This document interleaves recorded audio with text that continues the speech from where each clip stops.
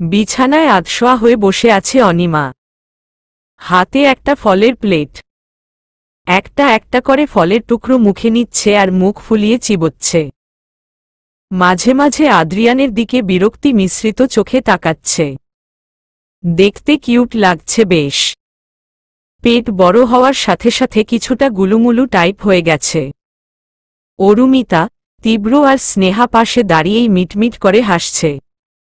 Adrian চেয়ারে বসে একটা হতাশ শ্বাস ফেলে বলল, দেখ, এমনভাবে তাকাচ্ছে আর খাচ্ছে যেন পৃথিবীর সবচেয়ে অখাদ্য এনে খেতে দিয়েছি আমি ওকে। অনিমা রাগী কণ্ঠে বলল, এটাকে আপনার ভালো খাবার বলে মনে হয়?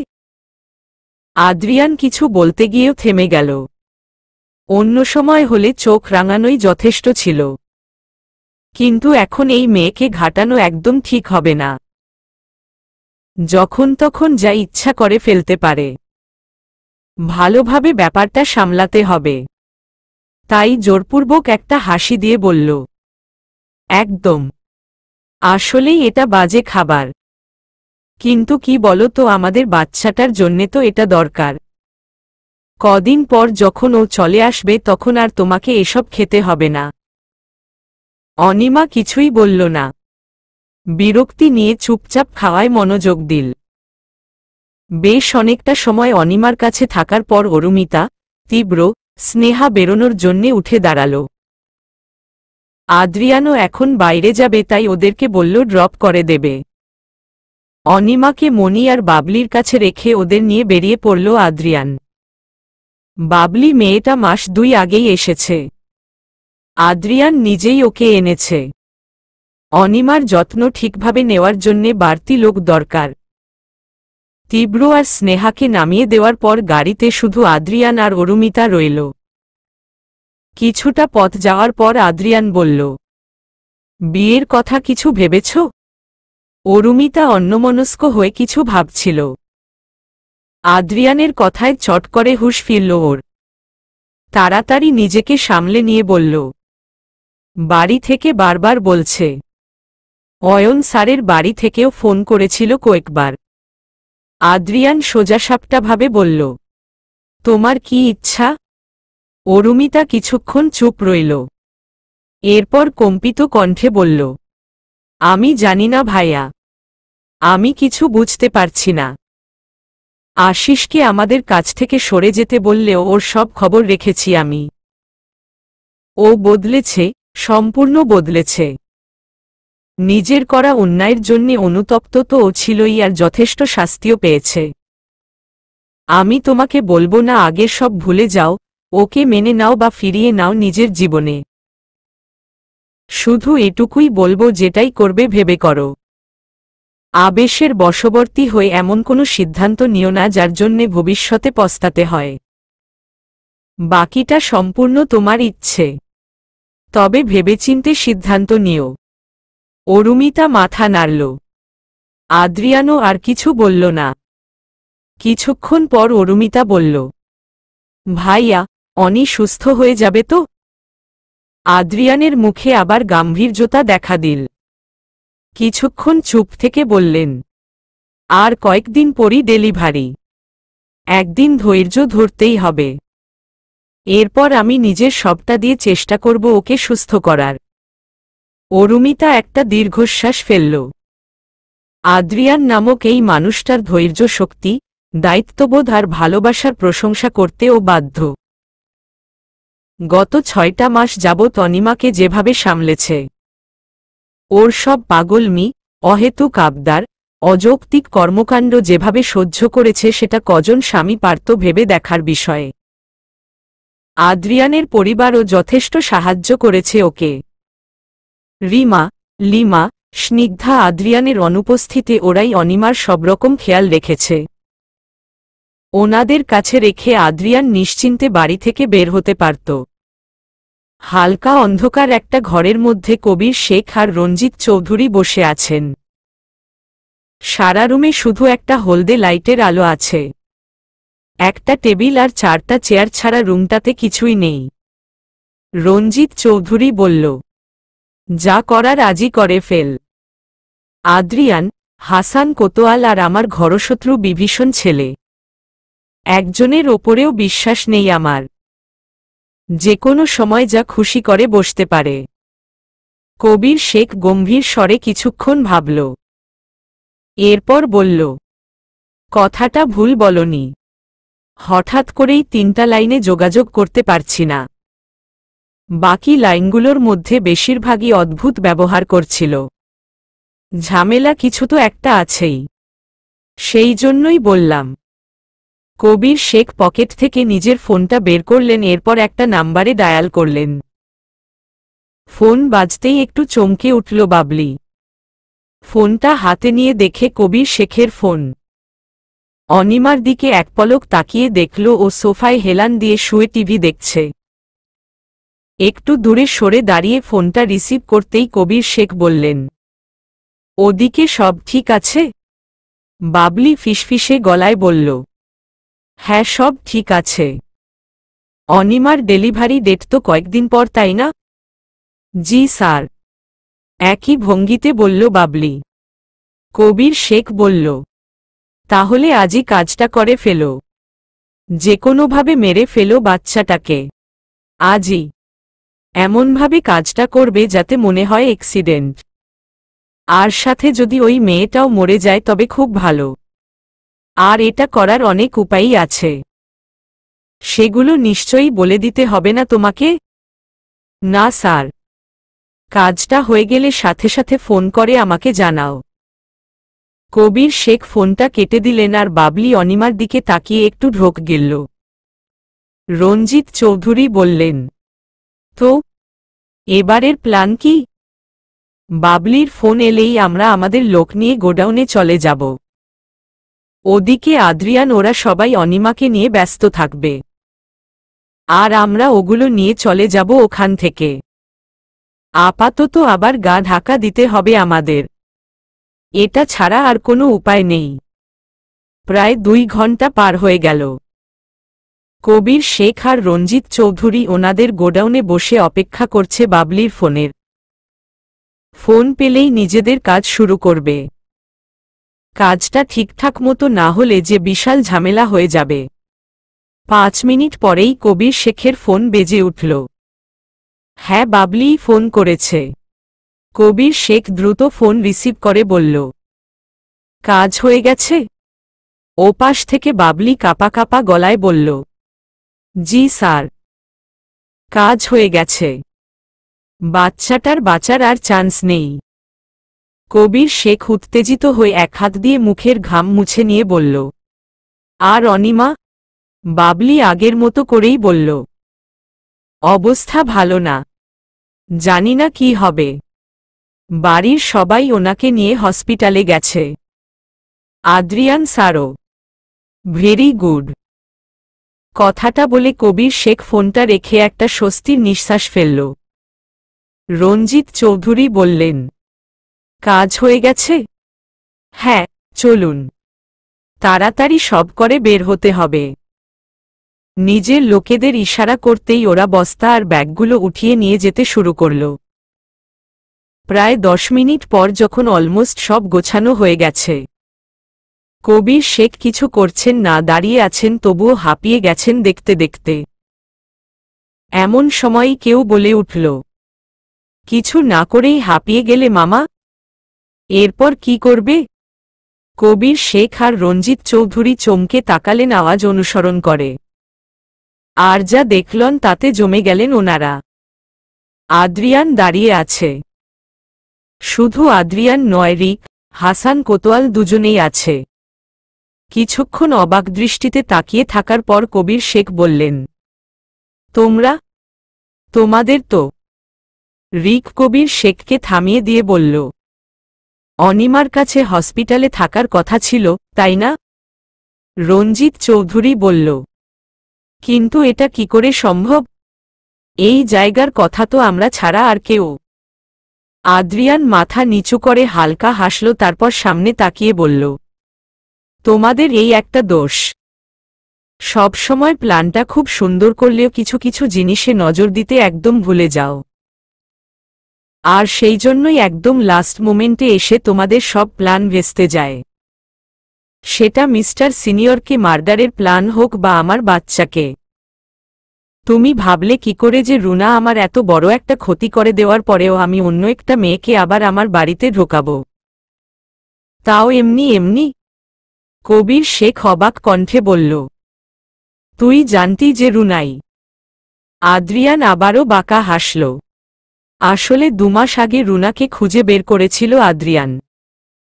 ওকে নিজের গ্যাংয়ের অফিসে উঠিয়ে এনে প্রাণে মারার ভয় দেখাতেই সবটা স্বীকার করে নেয়। আর এটাও বলে যে কবির শেখ এখানেই থামছে না, ওনার আরও ভয়ানক একটা পরিকল্পনা আছে। আর তাই আদ্রিয়ানও একটা পরিকল্পনা করল দুই মাস আগে। আদ্রিয়ানের সামনের চেয়ারে মাথা নিচু করে বসে আছে রুনা। ওর ঠিক পাশেই ওরই বয়সী একটা মেয়ে বসে আছে। দুজনেই আদ্রিয়ানের ভয় রীতিমতো কাঁপছে। আদ্রিয়ান শান্ত কণ্ঠে প্রশ্ন করল, কি নাম তোমার? মেয়েটা জড়িয়ে যাওয়া কণ্ঠে বলল, বাবলি।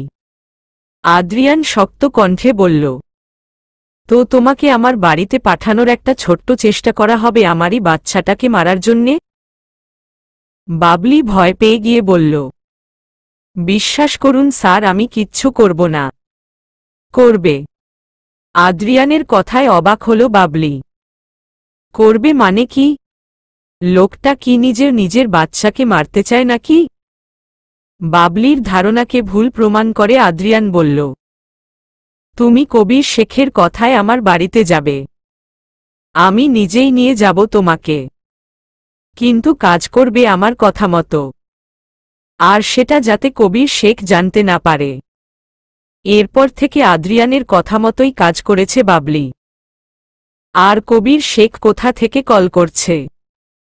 কি বলছে? সবকিছুই আদ্রিয়ান জানতে পারত ট্র্যাকারের মাধ্যমে। বাবলির কাছে যখনই ফোন আসত তখনই লোকেশন ট্র্যাক করত আদ্রিয়ান। বাবলিকেও পুরোপুরি বিশ্বাস করেনি ও সবসময় নিজের লোক দিয়ে ওর ওপরেও নজর রাখত। কবির শেখ অবাক হয়ে বললেন, তার মানে কিছুক্ষণ আগেও বাবলি আমাকে মিথ্যে বলেছে? আদ্রিয়ান হাসল শুধু। কবির শেখ আফসোসের একটা শ্বাস ফেললেন। রঞ্জিত চৌধুরীও রাগে ফেটে পড়ছেন এক প্রকার। সত্যি ভুল হয়ে গেছে। আরও সতর্ক থাকা উচিত ছিল ওনাদের। বোঝা উচিত ছিল যে যার সাথে খেলছে সে আদ্রিয়ান। রিক নিজের বাবার দিকে তাকিয়ে তাচ্ছিল্যের হাসি দিয়ে বলল, ভেবেছিলাম জেল থেকে বেরিয়ে অন্তত শুধরে যাবে, কিন্তু আফসোস হচ্ছে খুব যে তোমার সন্তান হয়েই কেন জন্মালাম। হাসান কোতোয়াল বললেন, কিছু কিছু মানুষের স্বভাব রক্তে মিশে যায়। কুকুরের লেজ যেমন সোজা হয় না, সেই স্বভাবগুলোও যায় না। রঞ্জিত চৌধুরী রাগে ফুসতে ফুসতেই চোখ সরিয়ে নিলেন। কবির শেখ কোনোভাবে বের হওয়ার একটা উপায় খুঁজবেন কিন্তু তার আগেই বুঝতে পারল যে চারপাশে পুলিশ এসে ঘিরে ফেলেছে ওদের। আর কোনোভাবেই বের হওয়া সম্ভব নয়। খুব বেশি হালকাভাবে নিয়ে ফেলেছিল আদ্রিয়ানকে যেটা ঠিক হয়নি। অতিরিক্ত আত্মবিশ্বাসী কাল হয়েছে ওনার। আদ্রিয়ান কোথাও একটা ফোন করে বলল, সোহাগ, ভেতরে চলে আয়। সোহাগ ফোর্স সহ ভেতরে চলে এলো। কবির শেখ আর রঞ্জিত চৌধুরীকে অ্যারেস্ট করা হয়ে গেছে ইতিমধ্যে। আদ্রিয়ান সোহাগের দিকে তাকিয়ে বলল, বলেছিলাম না ভাগ্যে থাকলে আবার দেখা হবে? সোহাগ হেসে বলল ডকুমেন্টগুলো সব আছে আমার কাছে। এবার আর ওরা বাঁচবে না। আদ্রিয়ান কিছু বলার আগেই ওর ফোন বেজে উঠল। ফোনটা বাড়ি থেকেই এসেছে। এই সময় বাড়ি থেকে ফোন পেয়ে কপাল কুচকে ফেলল আদ্রিয়ান। ফোন রিসিভ করতেই ওপাশ থেকে যা শুনল তাতে আদ্রিয়ান থমকে গেল। শরীর মৃদু কাঁপতে লাগল ওর। সব তো ঠিক হয়েই যাচ্ছিল, এখনই এটা হওয়ার ছিল। ওটির সামনে আবরার মেনশনের সবাই বসে আছে। সবার চোখে মুখে প্রচণ্ড টেনশনের ছাপ। মানিক আবরার, রিমা, লিমা, হাসান কোতোয়াল চিন্তিত মুখ করে বসে আছেন। বাকিরা এদিক ওদিক দাঁড়িয়ে আছেন। জাবিন বাড়িতেই আছে, স্নিগ্ধকে সামলাচ্ছে। আদ্রিয়ান ফ্লোরে বসে আছে সব মুখ জুড়ে বিষণ্নতা কিছু হারিয়ে ফেলার ভয়। ফোনে যখন মিসেস রিমা কাঁদতে কাঁদতে বলেছিলেন যে অনিমা পড়ে গিয়ে ব্যথা পেয়েছে আর ওকে হসপিটালে নিয়ে যাওয়া হচ্ছে, তখন আদ্রিয়ানের মানসিক অবস্থা কল্পনা করাও অসম্ভব ছিল। মনে হচ্ছিল দাঁড়াতেও পারবে না ঠিকভাবে। খবরটা রিক আর হাসান কোতোয়ালের কানে পৌঁছাতেই ওনারা সোহাগকে বিদায় দিয়ে যত দ্রুত সম্ভব আদ্রিয়ানকে নিয়ে হসপিটালে আসে। আসলে অনিমা নিজের রুমে শুয়ে শুয়ে টিভি দেখছিল। নিউজ চ্যানেলে দেখায় আদ্রিয়ান আর হাসান কোতোয়াল কবির শেখের গোডাউনের ভেতরে আছে। আর সাংবাদিকরা বাইরে দাঁড়িয়ে নিউজ করছে। ও তখন ঘাবড়ে যায়। যেহেতু কবির শেখ মারাত্মক চালাক একজন মানুষ। উনি যা খুশি করতে পারেন। আর সেই ভয়েই অনিমা উত্তেজিত হয়ে উঠে দ্রুত বেরিয়ে সবাইকে বলার জন্যে যাচ্ছিল কিন্তু দুর্ভাগ্যজনকভাবে কার্পেটের সাথে পা আটকে পড়ে যায়। আর এরকম সময় এভাবে পড়ে যাওয়াটা সত্যিই ভয়ঙ্কর। ব্যথা পেয়ে প্রচণ্ড জোরে চিৎকার করে ওঠে ও ওর চিৎকারের আওয়াজে বাড়ির সবাই ছুটে আসে। অনিমাকে এভাবে দেখে স্বাভাবিকভাবেই সবাই প্রচণ্ড ভয় পেয়ে যায়। তবে একটুও সময় নষ্ট না করে ওনারা হসপিটালে নিয়ে যায় ওকে আর আদ্রিয়ানকে সঙ্গে সঙ্গে খবর দেয়। স্নিগ্ধা ওটিতে ঢুকেছে। রিক আদ্রিয়ানের সাথেই আছে। এই সময়ে আদ্রিয়ানের একজনের সাপোর্ট প্রয়োজন। অনেকটা সময় কেটে যাওয়ার পরেও কোনো খবর আসছে না। মাঝে শুধু একজন নার্সকে তাড়াহুড়ো করে দৌড়ে ঢুকতে বের হতে দেখা গেছে। এবার সবাই মনে মনে বেশ ভয় পাচ্ছে। সবাই মনে মনে একটাই প্রার্থনা করছে, মা আর বাচ্চা দুজনেই যাতে সুস্থ থাকে। আদ্রিয়ান একদৃষ্টিতে ওটির দরজার দিকে তাকিয়ে আছে। চোখে ছলছল ভাব স্পষ্ট। ভেতরে অনিমা কষ্ট পাচ্ছে এটা মনে হলেই বুকে অসহ্য যন্ত্রণা হচ্ছে ওর। কিছুক্ষণ বাদে বাদে ওর শরীর কেঁপে কেঁপে উঠছে। ওকে ধরে বসে থাকায় রিক সেটা খুব ভালোভাবে উপলব্ধি করতে পারছে। আর এটাই ভাবছে যে যে ছেলেটা সমস্ত ক্রিটিক্যাল পরিস্থিতিতে নিজেকে শান্ত রাখে। যে কোনো বিপদে নিজে শক্ত থেকে বাকিদের সামলায়। আজ সে নিজেই কেঁপে উঠছে বারবার। একটা মেয়েকে নিজের সর্বস্ব দিয়ে ভালো না বাসলে হয়তো এটা সম্ভব নয়। অন্য সব ক্ষেত্রে আদ্রিয়ান যতই শক্ত হোক না কেন এই একটা জায়গাতে সে দুর্বল, ভীষণ দুর্বল। দীর্ঘ সময় পর নার্স একটা সাদা টাওয়েলে জড়িয়ে একটা বাচ্চাকে নিয়ে বেরিয়ে এলো। ওটির দরজা খোলার সাথে সাথেই আদ্রিয়ান উঠে ছুটে গেল। বাকিরাও এগোল। বাচ্চাটাকে দেখে কয়েক সেকেন্ডের জন্য থমকে গেলেও পরে নিজেকে সামলে নিয়ে কম্পিত কণ্ঠে বলল, আমার ওয়াইফ কেমন আছে? নার্স কিছু বলার আগেই স্নিগ্ধা বেরিয়ে এলো। আদ্রিয়ান কিছু বলার আগেই স্নিগ্ধা মুখে হাসি ফুটিয়ে বলল, ভাইয়া, তোমার বউ ফিজিক্যালি একদম ঠিক আছে। চিন্তা করার কিচ্ছু নেই। আদ্রিয়ান সহ বাকি সকলেই স্বস্তির নিঃশ্বাস ফেলল। স্নিগ্ধা বলল, শুরুতে একটু প্রবলেম হয়েছিল কিন্তু অনি যথেষ্ট কোঅপারেট করেছে। এখন একদম ঠিক আছে। একটু পরে কেবিনে দেব। এবার তোমার মেয়েকে তো কোলে নাও। শুধু বউয়ের কথা ভাবলে হবে? মেয়ে রাগ করবে তো। আদ্রিয়ান হালকা হেসে এগিয়ে গিয়ে নিজের মেয়েকে কোলে তুলে নিল। সাথে সাথেই মনে হল যেন ও পৃথিবীর সবচেয়ে সুখী ব্যক্তি। এর চেয়ে বেশি সুখের কিছু হতেই পারে না। এতক্ষণ আটকে রাখা চোখের জলটুকু এখন বেরিয়ে এলো চোখ দিয়ে। বেবির মুখে চুমু খেয়ে আলতো করে নিজের সাথে জড়িয়ে ধরল ও বাচ্চাটাকে। এই দৃশ্য থেকে সকলেই তৃপ্তি পেল মনে। সকলেই প্রশান্তির হাসি দিল। কিছু মানুষের জীবনে সুখশান্তি নামক জিনিসটা সহজে ধরা দেয় না। অনিয়াদ্রিয়ানো হয়তো সেই দলের মধ্যেই পড়ে। কয়েক ঘণ্টা আগেও সবাই ভীষণ খুশি ছিল।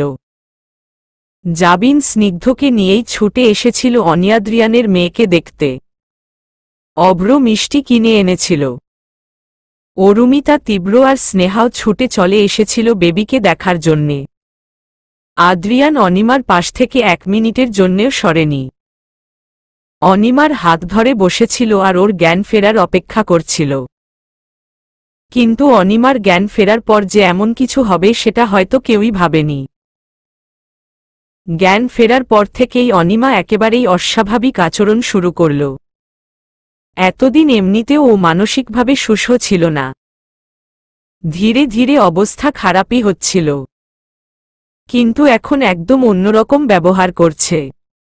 এমন বিহেভ করছে যেন ও কাউকে চেনেই না। আর আচরণগুলোও স্বাভাবিক মানুষের মতো না।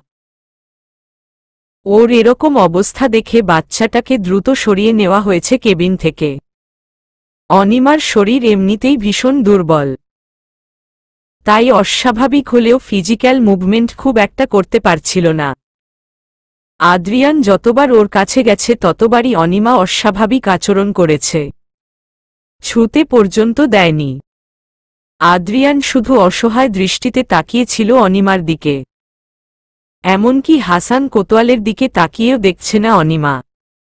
সব কিছু দেখে নাহিদ বলল, এরকম কিছুর ভয়টাই পাচ্ছিলাম। ব্যাপারটা এখন বেশ জটিল হয়ে গেছে। মুহূর্তেই আনন্দমুখর পরিবেশটা বিষাদময় হয়ে গেল। সবার চোখে মুখে স্পষ্ট চিন্তার ছাপ। হঠাৎ এরকম ঘটনায় সবাই হতভম্ব হয়ে গেছে। আদ্রিয়ানের মুখের দিকে তাকানো যাচ্ছে না। কিছুক্ষণ আগেও এমন অপার সুখের অনুভূতি পাওয়ার পর আবার এরকম একটা ঘটনা স্তব্ধ করে দিল ওকে। মাঝে আরও তিনটে দিন পার হয়ে গেল। এই তিন দিনে অনিমার ব্যবহারে কোনোরকম পরিবর্তন আসেনি। অদ্ভুত আচরণ করছে ও। যেন নিজের মধ্যেই হারিয়ে গেছে। আশেপাশের কোনো কিছুর সাথে কোনো সম্পর্ক নেই ওর। আদ্রিয়ান অনেক কষ্টে ওর কাছে গেছে। অনিমাকে খাওয়াতে, ঔষধ দিতে ওর কাছে যেতে এক প্রকার যুদ্ধ করতে হয়েছে। বেবির ফিডিং করাতেও স্নিগ্ধাকে অনেক রিস্ক নিতে হয়েছে। তবে অদ্ভুত ব্যাপার হচ্ছে অনিমা বেবিকে ফিডিং করানোর সময় একদম চুপচাপ হয়ে যেত। একদৃষ্টিতে তাকিয়ে থাকত নিজের মেয়ের দিকে। হয়তো এটাকেই মাতৃত্বের টান বলে। এসব মিলিয়ে বাড়ির সবারই, বিশেষ করে আদ্রিয়ানের, এই তিনটে দিন ভয়ঙ্কর কেটেছে। নাহিদ কতগুলো টেস্ট করাতে দিয়েছিল আজ যার রিপোর্ট নিয়ে এসেছে ও। ড্রয়িং রুমে বসে আছে বাড়ির সবাই। সবাই জানতে ইচ্ছুক অনিমর এখন কি হয়েছে। অনিমা আর বেবি দুজনেই ভেতরে আলাদা আলাদা ঘুমাচ্ছে।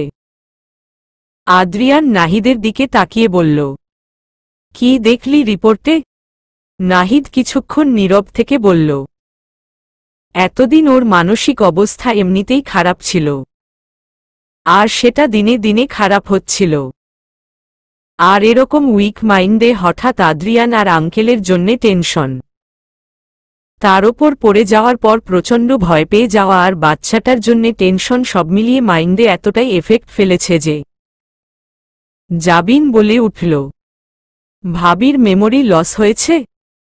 নাহিদ বলল, না, আসলে মেমোরি লস বলে কিছু হয় না। হ্যাঁ হয়তো সাময়িক সময়ের জন্যে মানুষ কিছু কিছু ঘটনা হঠাৎ হঠাৎ ভুলে যেতে পারে যে কোনো কারণে। কিন্তু একেবারে নিজের নাম, ঠিকানা, অস্তিত্ব সব ভুলে যাবে, বাকি সব সুস্থ, স্বাভাবিক এরকমটা ফিল্ম, নাটকে দেখালেও বাস্তবতা ভিন্ন। অনিমার অবস্থাটা হচ্ছে ও এখন সম্পূর্ণ মানসিক ভারসাম্য হারিয়ে ফেলেছে। আসলে ও নিজের মধ্যেই হারিয়ে গেছে এখন। আশেপাশে কোনো কিছুই এখন ওর বোধগম্য নয়। আর সেজন্যই ও এরকম ব্যবহার করছে। সবাই ব্যাপারটা বুঝল। সমস্যাটা যে জটিল সেটাও বুঝতে পেরেছে। হাসান কোতোয়াল কম্পিত কণ্ঠে বললেন, ও কি ঠিক হবে না আর? নাহিদ মলিন মুখে বলল, মিথ্যে আশ্বাস দেব না, আঙ্কেল। যদি চিকিৎসাটা শুরুতেই করা যেত তাহলে কোনো সমস্যা হতো না। কিন্তু এখন বেশ জটিল হয়ে গেছে ব্যাপারটা। তবে ডোন্ট লুজ হোপ ও ঠিক হয়ে যাবে। আদ্রিয়ান সবার সামনে আর কিচ্ছু বলল না। কিছুক্ষণ গম্ভীর মুখে বসে থেকে যে যে যার যার রুমে চলে গেল। এখন সকলেরই একটা রেস্ট দরকার, অনেক ধকল গেছে তিন দিন সকলের। আদ্রিয়ান রিক আর নাহিদ হাঁটছে আবরার মেনশনের রোডের পাশ দিয়ে। তিনজনেই চুপ আর গম্ভীর। হঠাৎ করেই আদ্রিয়ান নাহিদের হাতে হাত রেখে বলল, তুই যা বলবি আমি করব। ওকে জাস্ট ঠিক করে দে।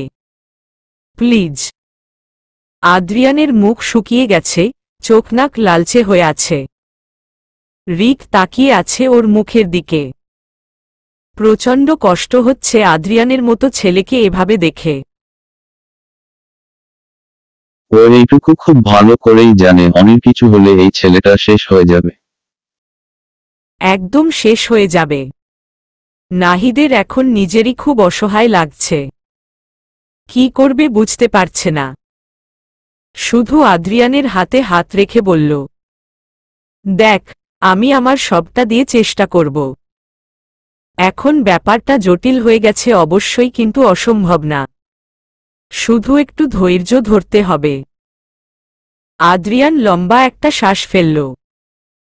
কাঁদতে খুব ইচ্ছে করছে ওর, কিন্তু এখন কাদার মতো পরিস্থিতি নেই। ওকে শক্ত হতে হবে। নাক টেনে নিজেকে সামলে নিল। দেখতে দেখতে কেটে গেল এক সপ্তাহ। আবরার মেনশনের সকলের সুখ আর দুঃখ দুটোর সমন্বয়েই কেটেছে। অনিমার এরকম কঠিন অবস্থা আর ওকে সামলানোতে সবারই হিমশিম খেতে হচ্ছে। অনিমার অবস্থার অবনতি বেশ ভয়াবহ খারাপ হয়েছে। প্রথমে কষ্ট হলেও আদ্রিয়ান ধৈর্য ধরে কিছুটা সামলাতে পারছে ঠিকই।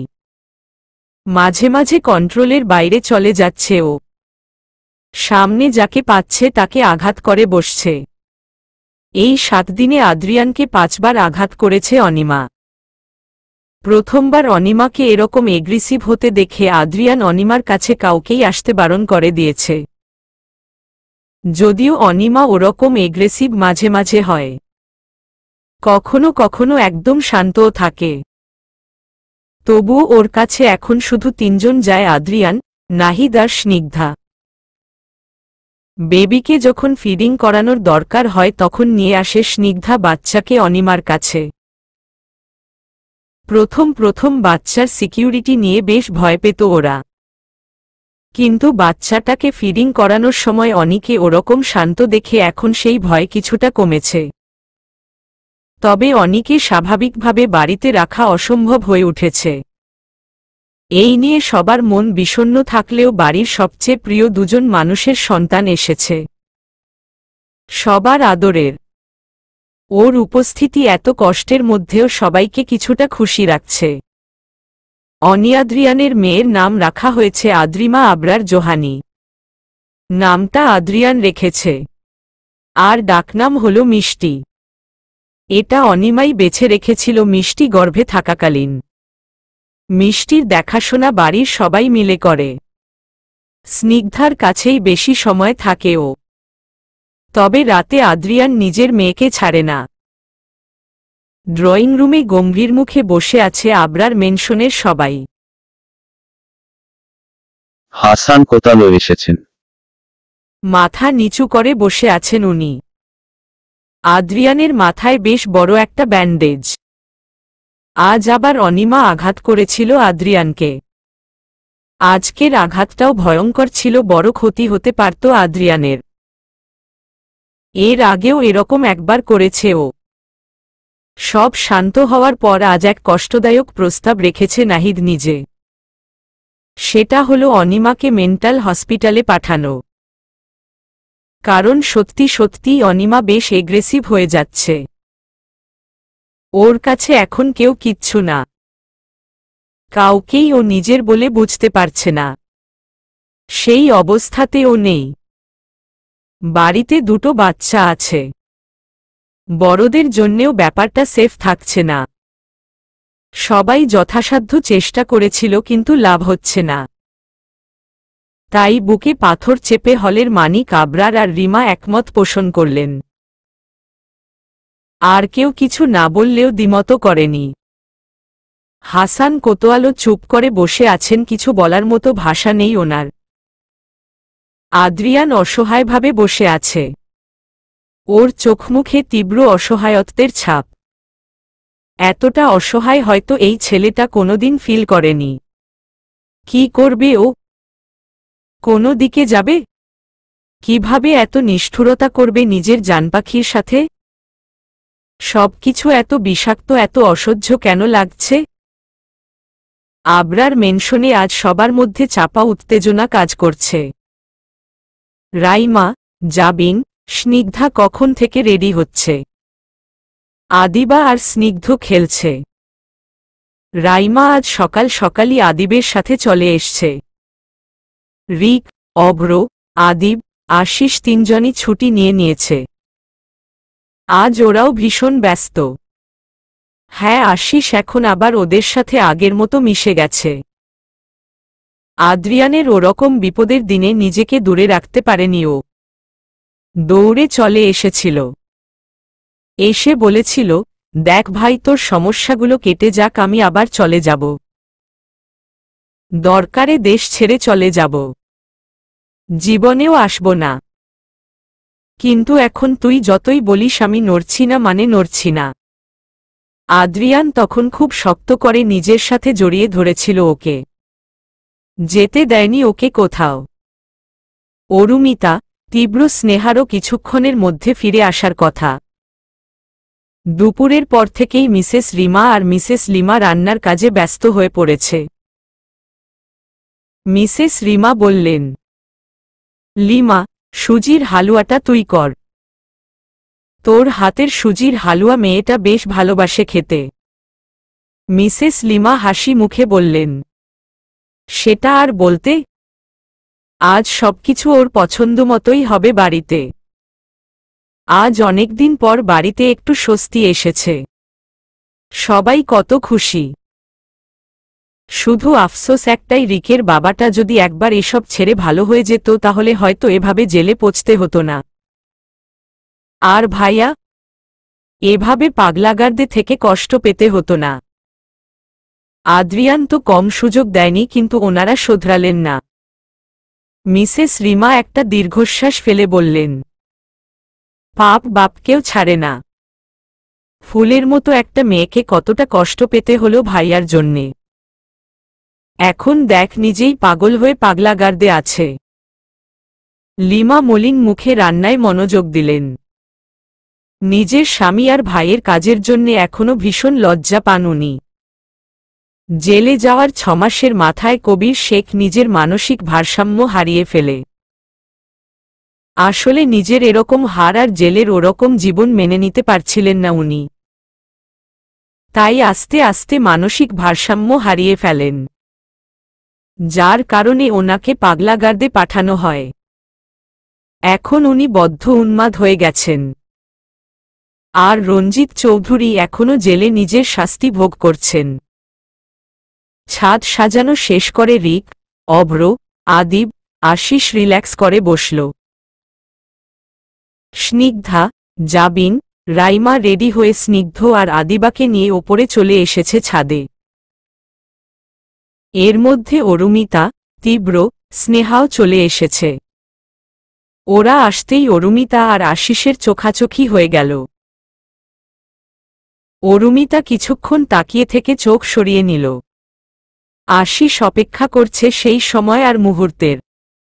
অপেক্ষাই তো এখন একমাত্র পথ ওর কাছে। একে একে বাড়ির সবাই হাজির এখন শুধু আদ্রিয়ানের আসার অপেক্ষা। আদ্রিয়ান শাওয়ার নিয়ে বেরিয়ে দেখে তার মেয়েটা উঠে পড়েছে। খাটে উপুর হয়ে শুয়ে পা দুলিয়ে খেলছে আর মুখ দিয়ে আওয়াজ করছে। আদ্রিয়ান হাসল। মিষ্টি এখন হাঁটতে পারে গুটি গুটি পায়, দু একটা শব্দ উচ্চারণ করতে পারে। ভাগ্যিস ও তাড়াতাড়ি বেরিয়েছে। নইলে ঠিক নামার চেষ্টা করত। আদ্রিয়ান গিয়ে মিষ্টিকে কোলে তুলে নিয়ে বলল আমার মিষ্টি পাখি উঠে গেছে? আমি তো দেখিনি। খিদে পেছে মা।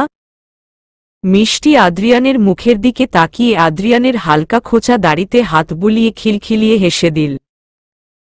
আদ্রিয়ান হেসে মেয়ের নাকে নাক ঘষে দিয়ে বলল, একদম মায়ের মতো দুষ্ট হয়ে যাচ্ছ দিন দিন। মিষ্টি কি বুঝল কে জানে? হেসে হেসে ডানে বায় মাথা নাড়িয়ে আদ্রিয়ানের চুলগুলো নাড়তে লাগল। আদ্রিয়ান মেয়ের দিকে তাকিয়ে তৃপ্তির হাসি হাসল। এটা অনিমারও খুব পছন্দের কাজ আদ্রিয়ানের মাথার চুল এলোমেলো করে দেওয়া, গালের খোঁচা দাড়িতে হাত বুলানো। আর ওদের মেয়েটা দুজনের মিক্সড কম্বিনেশন বলা যায়। দেখতে আদ্রিয়ানের মতো হয়েছে। তবে চোখ দুটো অনেকটা অনিমার মতো বড়, তবে চোখের লেন্স আদ্রিয়ানের মতোই বাদামি অনিমার মতোই বা গালে একটি তিল আর গলার নিচে দুটো তিল আছে। স্বভাব কতটা কার সাথে মেলে সেটা বড় হলে বোঝা যাবে। টি টেবিলে ঠান্ডা হতে রাখা খাবারটা নিয়ে খুব যত্ন করে মেয়েকে খাইয়ে দিল আদ্রিয়ান। এরপর জামা পরিয়ে রেডি করে দিয়ে নিজেও রেডি হয়ে মেয়েকে কোলে নিয়ে ছাদের উদ্দেশ্যে রওনা দিল। ছাদে উঠতেই অরুমিতা এগিয়ে এসে মিষ্টিকে কোলে তুলে নিল। আদ্রিয়ান গেল, সবকিছু ঠিক আছে কিনা দেখার জন্যে। চারপাশে তাকিয়ে দেখল, সবকিছুই চমৎকার করে সাজানো হয়েছে। অবাক হল না ও। এদের হাতে দায়িত্ব দিয়ে ও চিরকালই নিশ্চিত থাকতে পারে। জীবনের সব প্রাপ্তির মধ্যে অমূল্য প্রাপ্তি হল এই বন্ধুগুলো। যারা সবসময় সবরকম পরিস্থিতিতে ওর পাশে ছিল, আছে আরও জানে চিরকাল থাকবে। অরুমিতা মিষ্টির দুগালে দুটো চুমু খেয়ে বলল, আমার মাটা কেমন আছে হুম? মিষ্টি হাসল, মেয়েটা বেশ অন্যরকম। অন্য বাচ্চাদের মতো কথায় কথায় কেঁদে দেয় না। হাসিটাই যেন ওর বৈশিষ্ট্য। তবে ওকে কাদায় একমাত্র স্নিগ্ধ। স্নিগ্ধর সাথে বেশিক্ষণ থাকলেই ও কেঁদে দেয়। কারণ স্নিগ্ধ সবসময়ই ওর গাল টেনে দেয় চিমটি দেয়, ভেংচি কাটে যা মিষ্টির মোটেও পছন্দ নয়। মিষ্টিকে দেখেই স্নিগ্ধ দৌড়ে এলো। এসে ওকে নিতে চাইলেই মিষ্টি মুখ কুচকে হালকা আওয়াজ করে অরুমিতার গলা জড়িয়ে ধরল। যাতে স্পষ্ট বোঝা যাচ্ছে ও স্নিগ্ধর ধারে কাছেও যেতে নারাজ। স্নিগ্ধ নাক ফুলিয়ে চোখ উল্টে তাকিয়ে রাগে ফোসার মতো করে মিষ্টির হাতে চিমটি বসিয়ে দিল। মিষ্টি সাথে সাথেই চিৎকার করে কেঁদে দিল। তিন চারজন মিলেও থামাতে পারছে না। সে কি কান্না? স্নিগ্ধা রেগে স্নিগ্ধর হাত ধরে এনে বলল, বেশি ফাজিল হয়ে যাচ্ছ তুমি দিন দিন স্নিগ্ধ। আসতে না আসতেই মেয়েটাকে কাঁদিয়ে দিলে। একটা চর মারব। বাকিরা কিছুই বলছে না। কারণ এরকম প্রায়ই হয়। স্নিগ্ধ সেই একই ভঙ্গিতে মায়ের দিকে তাকিয়ে বলল, কোলে নিলে আথেনা কেন? পতা মেয়ে একতা। বলে দৌড়ে চলে যেতে নিয়েও ফিরে এসে আবার মিষ্টিকে যেখানে চিমটি দিয়েছিল সেখানে একটা পাপ্পি দিয়ে দৌড়ে চলে গেল ওখান থেকে। সবাই হেসে ফেলল, স্নিগ্ধর এমন কাণ্ডের সাথে স্নিগ্ধাও। কিন্তু মিষ্টির কান্না আরও বেড়ে গেল। আদ্রিয়ান এসে কোলে নেওয়ার পরই সেই বিখ্যাত কান্না থামানো গেল। তারপর আদিবার কাছে দিয়ে দিল খেলার জন্যে। অরুমিতা এদিকে ওদিক তাকিয়ে দেখল আশিস ছাদের এক কর্নারে দাঁড়িয়ে আছে চুপ করে। অরুমিতা গুটি গুটি এগিয়ে গিয়ে আশিসের পাশে দাঁড়াল। আশিস ঘাড় ফিরিয়ে একবার অরুমিতাকে দেখে আবার সামনের দিকে তাকাল। সেদিন আদ্রিয়ানের কথা শুনে অনেক ভেবেছিল অরুমিতা। ঠিকই তো আশিস অনুতপ্ত কতবার ক্ষমা চেয়েছে, নিজেকে পাল্টেছে, শাস্তিও ভোগ করছে। ওকে অন্তত একটা সুযোগ দেওয়া উচিত। তাই ওর বাবাকে বলে অয়নকে মানা করে দেয়। অয়নও আর এগোয়নি কারণ অরুমিতার ইচ্ছা বা মতামতকে সে যথেষ্ট সম্মান করত। আশিস যখন আবার অরুমিতার কাছে একটা সুযোগের আশায় এসেছিল তখন ও বলেছিল ওর সময় প্রয়োজন। সময় হলে ও নিজেই বলবে। সেই সময়ের অপেক্ষায় আজও বসে আছে আশিস। কবে আসবে সেই সময়? কবে ওর অপেক্ষার অবসান ঘটবে?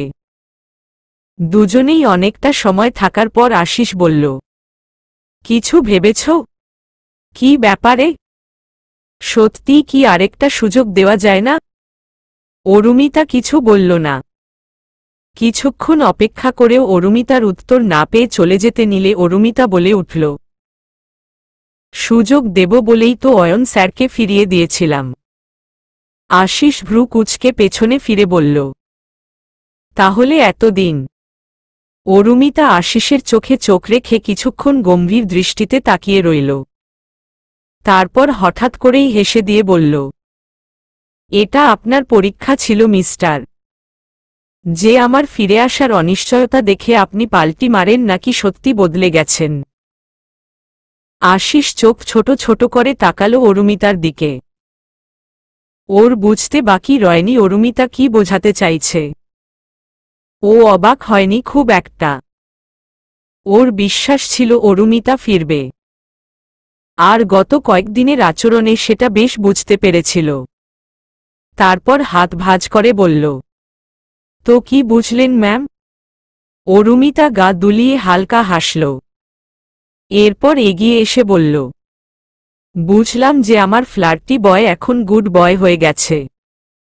কিন্তু এরপর যদি ওসব ডানে বায় চোখ যায় না, তাহলে চোখ তুলে ফেলব একদম। আশিস হালকা হেসে মাথা ঝুঁকিয়ে বলল, যথা আজ্ঞা। দুজনেই দুজনের চোখের দিকে তাকিয়ে হেসে ফেলল। ফোন আসতেই আদ্রিয়ান দেখল নাহিদের কল। মুখে হাসি ফুটল ওর। সবাইকে ইশারা করে বোঝালো ওরা আসছে। সবাই রেডি হয়ে গেল। কিছুক্ষণের মধ্যেই নাহিদ চলে এলো। সবার কৌতূহলী দৃষ্টি ছাদের দরজার দিকে। কিছুক্ষণের মধ্যেই তনয়া আর হাসান কোতোয়াল অনিমার হাত ধরে নিয়ে এলো ভেতরে। অনিমা আসার সাথে সাথেই ওরা সবাই যার যার হাতের বেলুন ফাটিয়ে সারপ্রাইজ বলে চেঁচিয়ে উঠল। অনিমা প্রথমে চমকে উঠলেও আশেপাশে সবাইকে দেখে স্বস্তি পেল। কিন্তু চারপাশে তাকিয়ে অবাক হয়ে গেল। এত সুন্দর আয়োজন কি ওর জন্যে? কিন্তু কেন? অনিমা চারপাশ দেখতে দেখতে এগোচ্ছে। আদ্রিয়ানের দিকে চোখ পড়তেই দেখল আদ্রিয়ান ওর দিকে একদৃষ্টিতে তাকিয়ে আছে। আদ্রিয়ানের কোলে মিষ্টি। জাবিন স্নিগ্ধা ওরা এগিয়ে এসে বলল, আজ প্রায় দেড় বছর পর তুমি কমপ্লিটলি সুস স্বাভাবিক হয়ে আমাদের মধ্যে এসেছ। কংগ্রাচুলেশনস অনিমা মুচকি হাসল। একে একে বাড়ির সবাই ওকে জড়িয়ে ধরল। অনিমা স্নিগ্ধ আর আদিবাকে আদর করে ধীর পায় আদ্রিয়ানের সামনে গিয়ে দাঁড়াল। আদ্রিয়ানের দিকে কিছুক্ষণ তাকিয়ে থেকে মিষ্টির দিকে তাকাল। কাপা কাপা হাতে ওকে ছুতে গিয়েও থেমে গেল। আদ্রিয়ান নিজেই এগিয়ে দিল মিষ্টিকে। অনিমা এক মুহূর্ত দেরি না করে নিজের মেয়েকে কোলে তুলে নিল। সারা মুখে কয়েকটা চুমু দিল। মায়ের স্পর্শ পেয়ে মিষ্টির হাসি যেন থামছেই না। আদো আওয়াজে মা ডেকে অনিমার গলা জড়িয়ে ধরে গলায় মুখ গুজে দিল মিষ্টি। অনিমার হৃদয় যেন ঠান্ডা হয়ে গেল। মেয়েকে জড়িয়ে ধরে কেঁদে ফেলল ও। এই দেড় বছর মিষ্টিকে ঠিক করে ধরতে পারেনি ও আদর করতে পারেনি, কাছে রাখতে পারেনি। কান্নাজড়িত চোখে আদ্রিয়ানের দিকে তাকাতেই আদ্রিয়ান মিষ্টিকে সহ দুহাতে আগলে নিল অনিমাকে। মাথায় আলতো করে চুমু দিয়ে বলল, কাঁদবে না একদম। সকলেই কম বেশি ইমোশনাল হয়ে পড়েছে। এই দেড় বছরে ওদের এক একটা কষ্টের মুহূর্তের সাক্ষী ছিল ওরা। দেখেছে কতটা লড়াই করেছে ওরা দুজন। বিশেষ করে আদ্রিয়ান। সকলে যখন বলছিল অনিমাকে মেন্টাল হসপিটালে পাঠানোর জন্যে তৈরি হয়ে গেছিল তখন আদ্রিয়ানের চোখে যেই অসহায়ত্বের ছাপ ছিল তা যে কারও মন নাড়িয়ে দিত। ও এত কঠিন সিদ্ধান্ত নিতে পারছিল না। তখন ওর অনিমার সেদিন ওকে জড়িয়ে ধরে কাঁদতে কাঁদতে বলা কথাগুলো মনে পড়ল, আপনাকে ভুলে যেতে পারব না আমি। আপনি প্লিজ কোনোদিন আমায় ছেড়ে দেবেন না। যাই হয়ে যাক না কেন। পরিস্থিতি যতই বদলাক না কেন। প্রয়োজনে আপনি আমায় জোর করে আটকে রাখবেন, নিজের অধিকারে আটকে রাখবেন। নিজের বুকে আগলে রাখবেন কিন্তু আমায় ছেড়ে দেওয়ার কথা ভাববেনও না। আর না আমায় ছাড়তে দেবেন। কথা দিন। সেদিন তো ও অনিমাকে কথা দিয়েছিল, প্রয়োজনে সমস্ত দুনিয়ার সাথে লড়বে কিন্তু অনিমাকে ছাড়বে না, বুকে আগলে রাখবে। নিজের কথার খেলাপ কি করে করবে? সেদিন আদ্রিয়ান সবার মতের বিরুদ্ধে গিয়ে বলেছিল, আমার বউকে আমি কোথাও ছাড়ছি না। ও আমার কাছে থাকবে। তোমাদের যদি ওর সাথে একই বাড়িতে থাকতে ইনসিকিউর ফিল হয় বলতে পারো, আমি আমার বউবাচ্চা নিয়ে বেরিয়ে যাচ্ছি। কিন্তু অনি কোথাও যাবে না। আর কেউ যদি এসব কথা আমার সামনে উচ্চারণ কর, আমি এক মুহূর্ত এই বাড়িতে দাঁড়াব না। সবাই অবাক হয়ে তাকিয়েছিল আদ্রিয়ানের দিকে। কেউ এটা চায় না যে ওরা তিনজন বাড়ি ছেড়ে চলে যাক। বাড়িটা যে প্রাণহীন হয়ে যাবে। তাই কেউ আর কিচ্ছু বলার সাহস পায়নি। আদ্রিয়ান অনিমার সবরকম ট্রিটমেন্টের ব্যবস্থা করেছিল। ওই মুহূর্তে অনিমা যেহেতু খুব এগ্রেসিভ ছিল তাই আদ্রিয়ান অনিমাকে নিজের রুমেই রাখত। বের হলে বাইরে দিয়ে লক করে দিতে হতো। সময়গুলো সহজ ছিল না একদমই। খুব কষ্ট হতো আদ্রিয়ানের সব দিক সামলাতে। শেষমেশ নিজের ক্যারিয়ারেও কিছুটা কম্প্রোমাইজ করতে হয়েছে ওকে। মিডিয়াতেও ব্যাপারটা ছড়িয়ে পড়েছিল।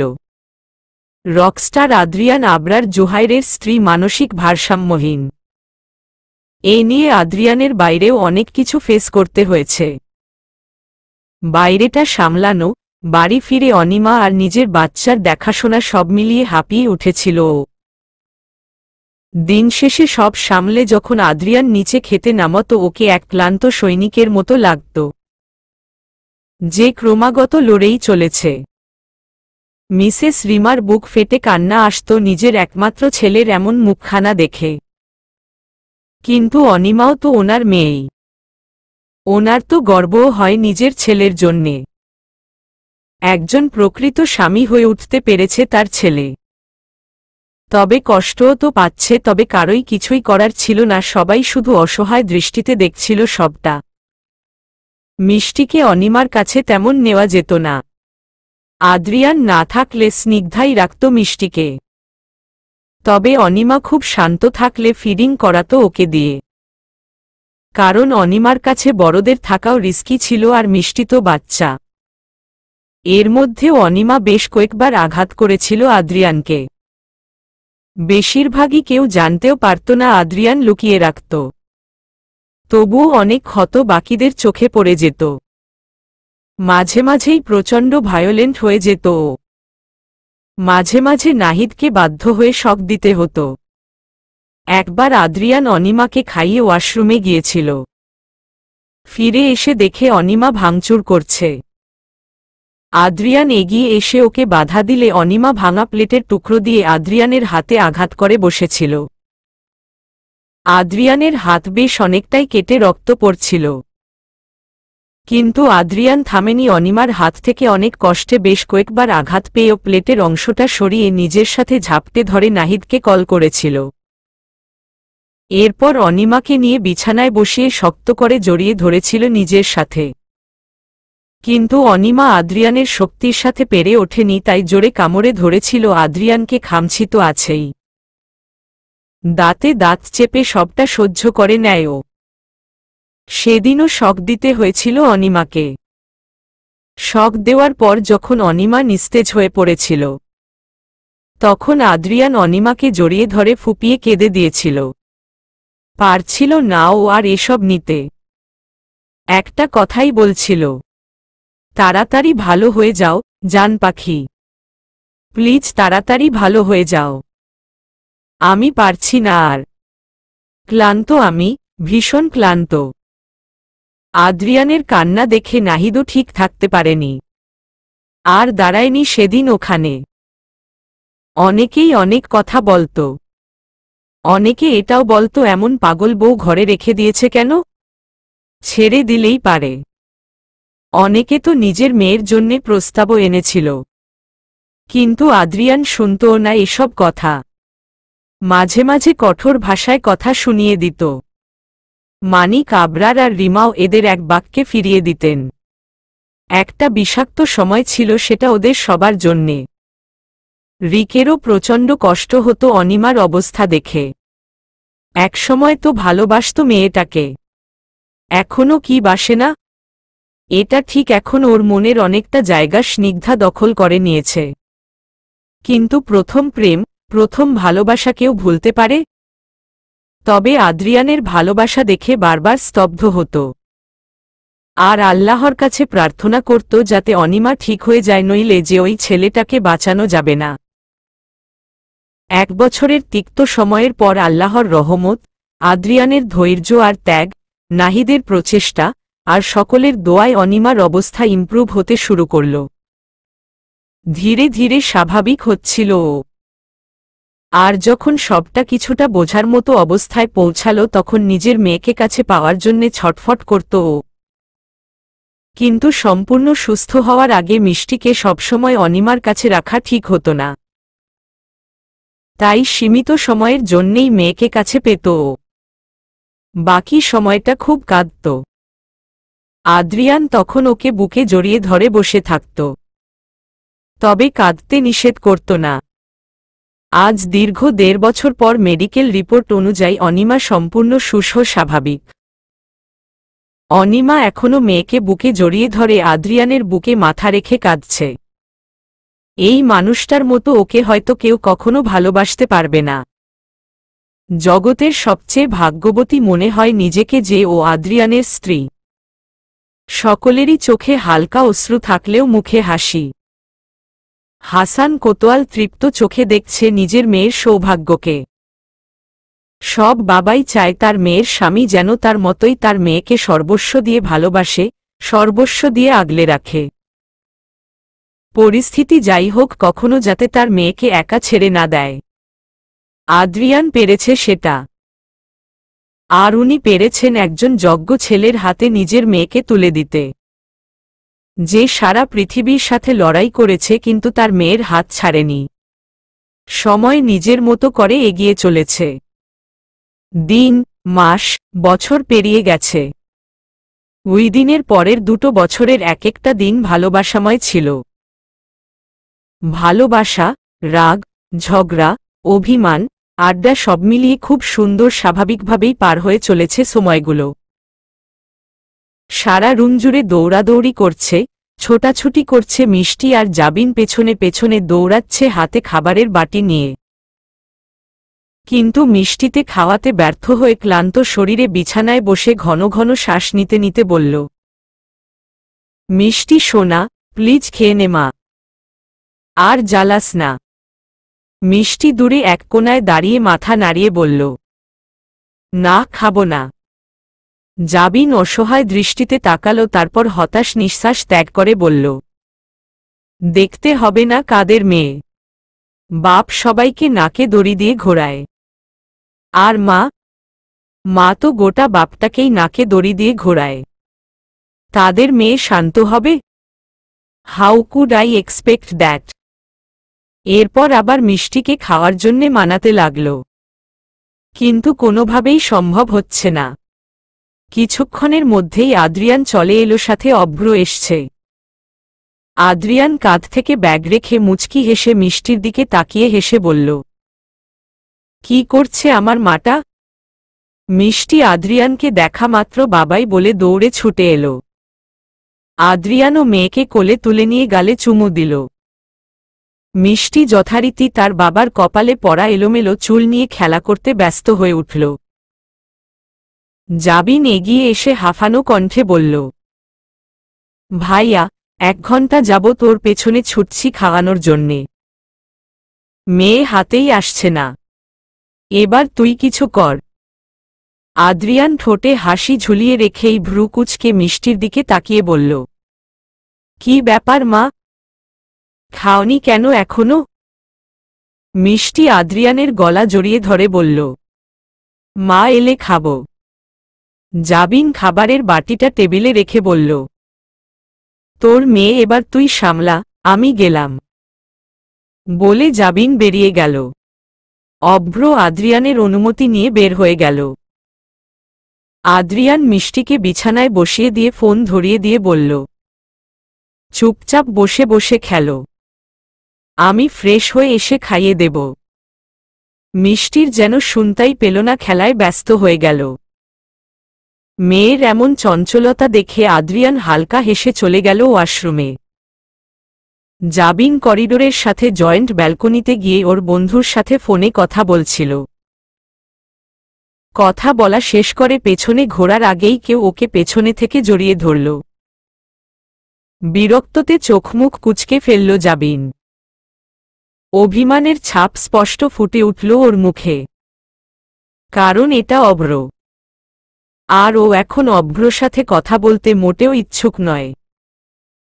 ভীষণ রেগে আছে অভ্র ওপর আর তার উপর ও নিজেকে ছাড়ানোর চেষ্টা করতে নিলে অভ্র আরও শক্ত করে জড়িয়ে নিয়ে বলল, এত রাগ করছ কেন?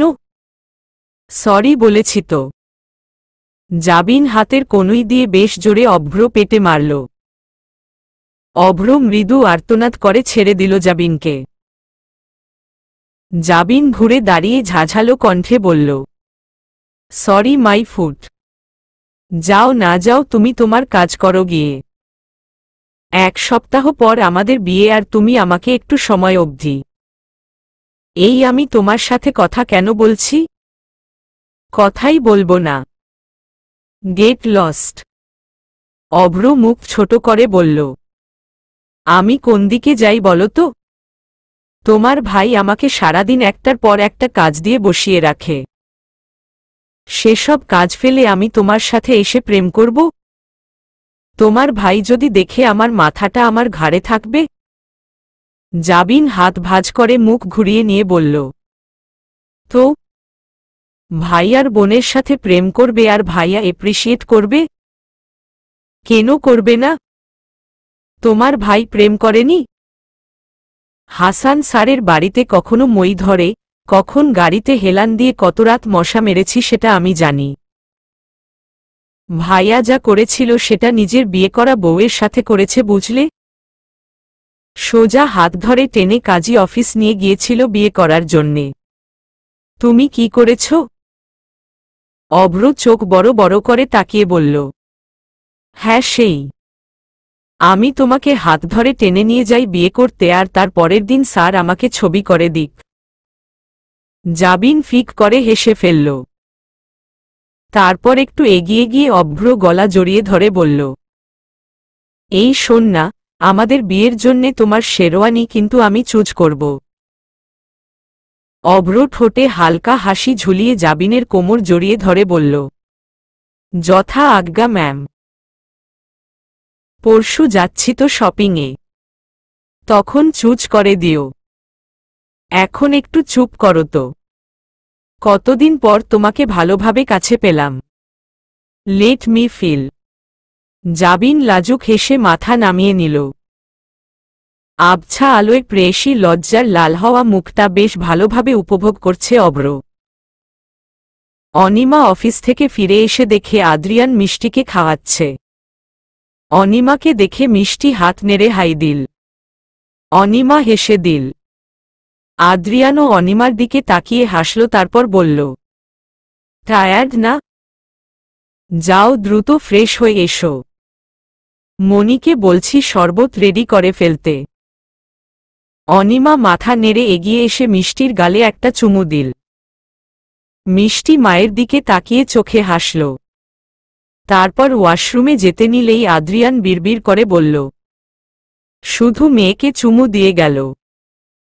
এখানে যে এই বিশাল সাইজের জলজ্যান্ত আস্ত বর বসে আছে, তাকে চোখেই পড়ল না। অনিমা শুনতে পেয়েও পাত্তা দিল না, ঠোঁট চেপে হাসতে হাসতে চলে গেল। ও এখন হাসান কোতোয়ালের চ্যানেলেই সাংবাদিকতা করছে। যদিও ইন্টারভিউ দিয়ে নিজের যোগ্যতাতেই চাকরিটা পেয়েছে ও। ওয়াশরুম থেকে ফ্রেশ হয়ে এসে দেখে মিষ্টি আদ্রিয়ানের টি শার্টে খাবার মাখিয়ে ফেলেছে। সেটা দেখে অনিমা ফিক করে হেসে দিল। অনিমার হাসি দেখে মিষ্টিও হাততালি দিয়ে হেসে উঠল। আদ্রিয়ান হতাশ চোখে মা আর মেয়ের দিকে তাকাল। তারপর অনিমাকে বলল হেসো না প্লিজ, কি অবস্থা করেছে দেখো। একটু যে বকব সেটাও পারি না। চোখ রাঙালেই ঠোঁট ফুলিয়ে কেঁদে ফেলে। তোমার মেয়ে তোমার মতোই চালাক। আমার দুর্বলতা খুব ভালোভাবেই বুঝে গেছে। আর সেটারই সুযোগ খুব ভালোভাবে নেয়। এক্সাক্টলি লাইক ইউ অনিমা টাওয়ালটা রাখতে রাখতে বলল এখনও অবধি মেয়েটাকে সামলাতে পারেন না আপনি রকস্টার সাহেব। আদ্রিয়ান ভ্রু কুচকে তাকিয়ে বলল ও হ্যালো মিসেস জুহাইর, দেড় বছর অবধি ওকে আমিই সামলেছি। তখন সামলানোটা আরও ডিফিকাল্ট ছিল। অনিমা মলিন এক হাসি দিল। তারপর ছোট্ট একটা শ্বাস ফেলে ব্যালকনিতে চলে গেল। ওই দেড়টা বছর নিজের প্রিয় মানুষটার কষ্টের কথা কল্পনা করলে ওর কান্না পায়, ভীষণ কান্না পায়। কতটা কষ্ট সহ্য করতে হয়েছিল মানুষটাকে। কিন্তু তবুও ওকে ছেড়ে যাওয়ার কথা ভাবেও নি লোকটা। মাঝে মাঝে নিজের ভাগ্যের ওপরেই বড্ড বেশি হিংসে হয় ওর। ওর আদ্রিয়ান এত ভালো কেন? আদ্রিয়ান এক পলক অনিমার যাওয়ার দিকে তাকিয়ে তারপর আবার মেয়েকে খাওয়ানোতে মনোযোগ দিল। মিষ্টিকে খেয়ে খেলতে চলে গেল নিজের মতো। এর মধ্যে মনীয় শরবত নিয়ে চলে এসছে। আদ্রিয়ান সব ঠিক করে রেখে শরবত নিয়ে ব্যালকনিতে এসে দেখে অনিমা আকাশের দিকে তাকিয়ে আছে ব্যালকনির রেলিং ধরে। ও গিয়ে অনিমাকে ধরে নিজের দিকে ঘুরিয়ে দুগালে হাত রেখে বলল, আমার আকাশে সবসময় ঝলমলে রোদি মানায়, কালো মেঘ নয়। এবার ঝটাপট একটা হাসি দিয়ে রোদের আলো ছড়াও আর বলে ফেলো, মন খারাপ হলো কেন? অনিমা ছলছলে চোখে আদ্রিয়ানের চোখে চোখ রেখে বলল ওই সময় অনেক কঠিন ছিল আপনার জন্যে, তাই না? বাইরেটা সামলাতে হয়েছে, সবার এত এত কথা শুনতে হয়েছে, ঘরে এসে মিষ্টিকে দেখতে হয়েছে, আর আমি তো আপনাকে আঘাত পর্যন্ত করেছিলাম। কি করে পারলাম?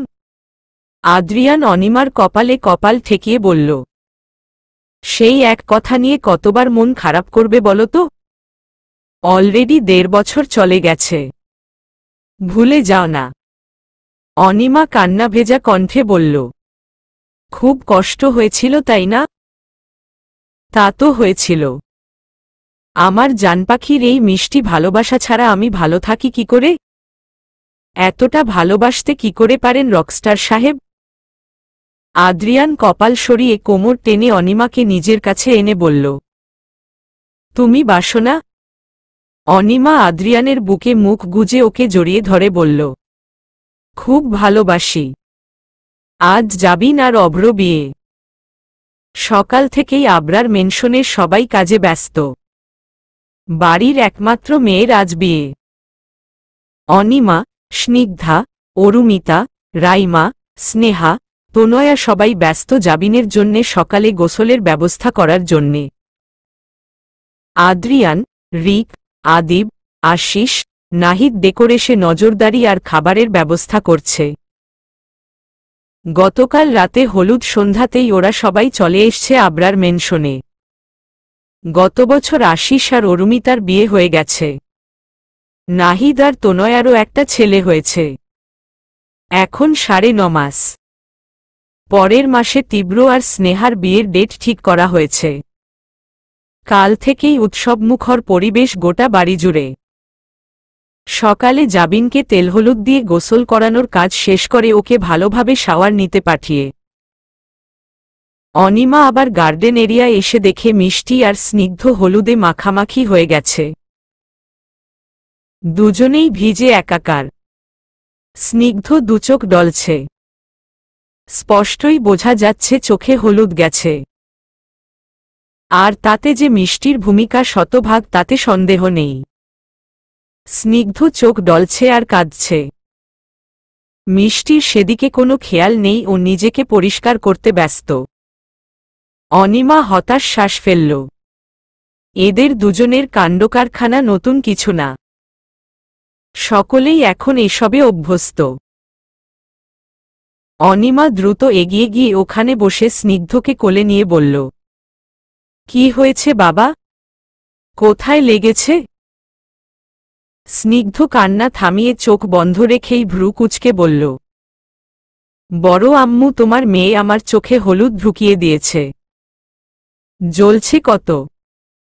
অনিমা পানি দিয়ে ভালোভাবে স্নিগ্ধর চোখ ধুয়ে দিয়ে চোখ গরম করে তাকালো মিষ্টির দিকে। মিষ্টি স্নিগ্ধর দিকে তাকিয়ে মুখ ভেঙচি দিয়ে বলল আমার নতুন দামায় হলুদ লাগালো কেন? অনিমা ধমকের সুরে বলল, তাই বলে তুমি চোখে মারবে? অনিমার ধমক শুনে মিষ্টি প্রথমে মুখ কাদো কাদো করে ফেলল। এরপর ঠোঁট ফুপিয়ে কেঁদে উঠল। ধীরে ধীরে আওয়াজও বৃদ্ধি পেল। আদ্রিয়ান আর রিক ওদিক দিয়েই যাচ্ছিল। মেয়ের কান্নার আওয়াজ কানে পৌঁছাতেই প্রায় দৌড়ে ওদিকে গেল আদ্রিয়ান। গিয়ে দেখে মিষ্টি কাঁদছে। আদ্রিয়ান দ্রুত গিয়ে মেয়েকে কোলে নিয়ে বলল, কি হয়েছে মামনি? কাঁদছ কেন? বাবার আদর পেয়ে আহ্লাদি হয়ে গলা জড়িয়ে কাঁদতে কাঁদতে মায়ের নামে অভিযোগ করল মিষ্টি। আদ্রিয়ান চোখ গরম করে অনিমার দিকে তাকাতেই অনিমা বলল, দেখুন, একদম এভাবে তাকাবেন না। মেয়েটার স্বভাব দিন দিন ঠিক আপনার মতো হচ্ছে। বড্ড ঘাড়বাঁকা টাইপ। নিজেরটা ছাড়া কারোটা শোনে না। আর নিজে যা ঠিক মনে করে তাই করে। আদ্রিয়ান ভ্রু কুচকে বলল, কি বললে? আমি ঘাড়বাঁকা? অনিমা কিছু বলবে তার আগেই রিক বলল, এই তোরা থামবি? ওরা তো বাচ্চা। আর তোরা বাচ্চার বাবা মা হয়ে গেছিস। বাচ্চাদের মতো ঝগড়া করছে। এরপর গিয়ে স্নিগ্ধকে কোলে নিয়ে বলল, আর তোকে না বলেছি মিষ্টি মাকে জ্বালাবি না। একদম মার মতো হচ্ছিস।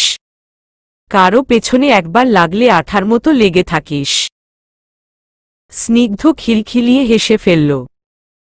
ছেলের হাসি দেখে রিকো হাসল। তারপর স্নিগ্ধকে নিয়ে ভেতরে চলে গেল। আদ্রিয়ান মেয়েকে হাসাতে ব্যস্ত। অনিমা আদ্রিয়ানের দিকে বিরক্তিমাখা দৃষ্টি নিক্ষেপ করে চলে গেল নিজের কাজে। আদ্রিয়ানও চলে গেল আদিবার কাছে মিষ্টিকে খেলতে দিতে।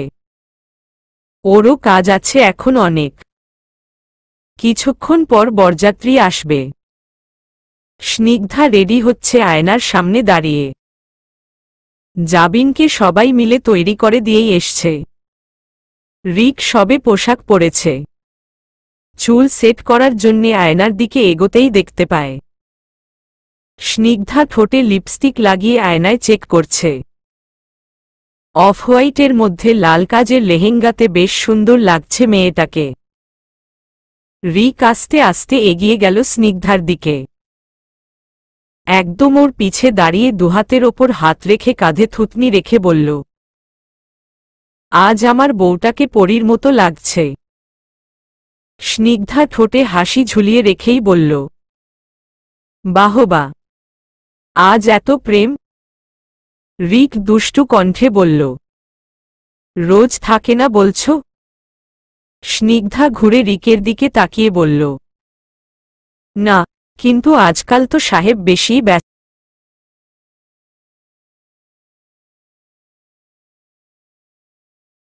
ব্যস্ত। আমি তো ভেবেছি বউ বুঝি পুরনো হয়ে গেছে। রিক স্নিগ্ধার কপালে ঠোঁট ছুঁয়ে বলল, আমার বউ কখনো পুরনো হয় না বুঝলে। রোজই আপডেট হচ্ছে। এক বাচ্চার মা হয়েও একই রকম আছে। একদম হট এন্ড। স্নিগ্ধা রিকের পেটে গুঁতো মেরে বলল, অসভ্য লোক একটা। ছেলের বাপ হয়ে গেছে, এখনও অভদ্রপনা যায়নি। রিক হাসল। স্নিগ্ধাও লাজুক হাসল।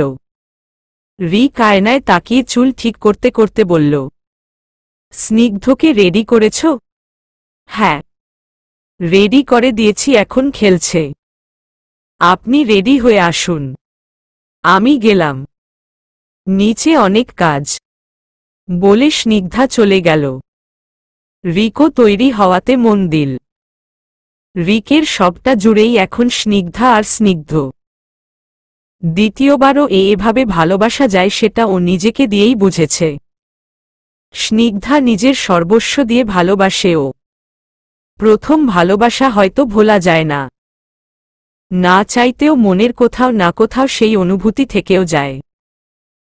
কিন্তু রিকের এখন কোনো আক্ষেপ বা কষ্ট নেই।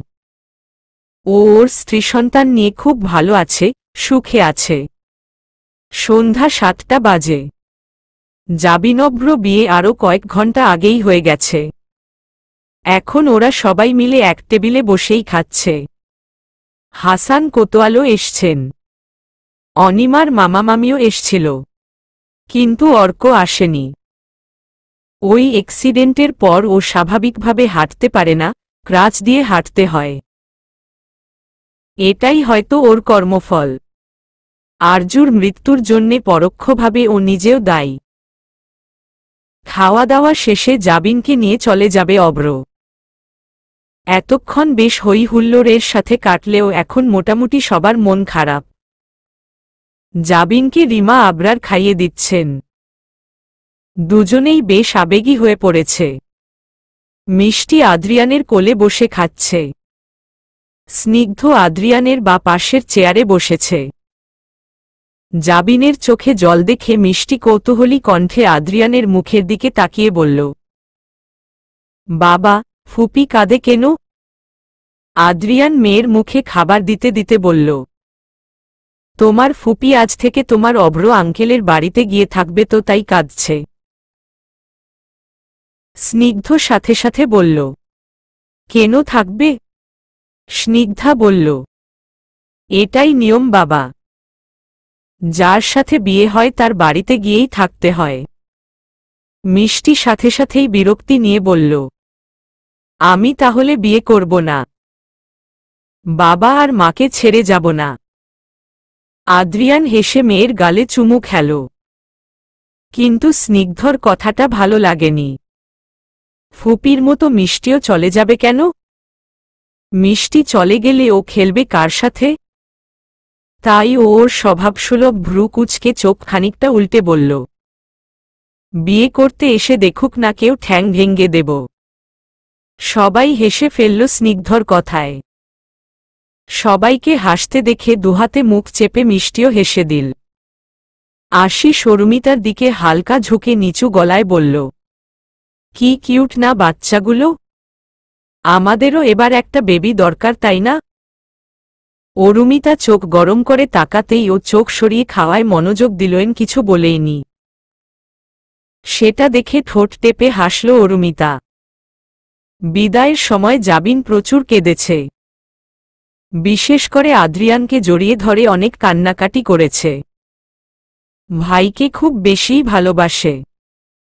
জাবিনকে এভাবে কাঁদতে দেখে স্নেহা গোমরা মুখ করে তীব্রকে বলল, আমাকেও এভাবে চলে যেতে হবে তোর বাড়িতে?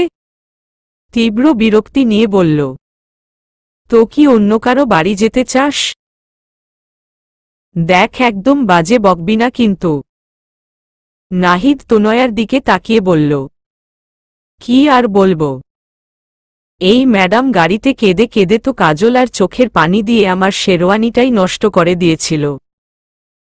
তনয়া ভেংচি কেটে বলল হ্যাঁ হ্যাঁ। তোমার সব আফসোস তো ওই শেরওয়ানি নিয়েই। আমি কেঁদেছি তাতে আর কি যায় আসে? এভাবেই হাসি, কান্না, খুনসুটি, আনন্দে সন্ধ্যাটা খুব ভালোভাবে পার হল। রাতে যে যার যার মতো করে ফিরে গেল নিজের বাড়ি। কাল রিসিপশনে অভ্র বাড়ি যাবে। রাত প্রায় দেড়টা বাজে।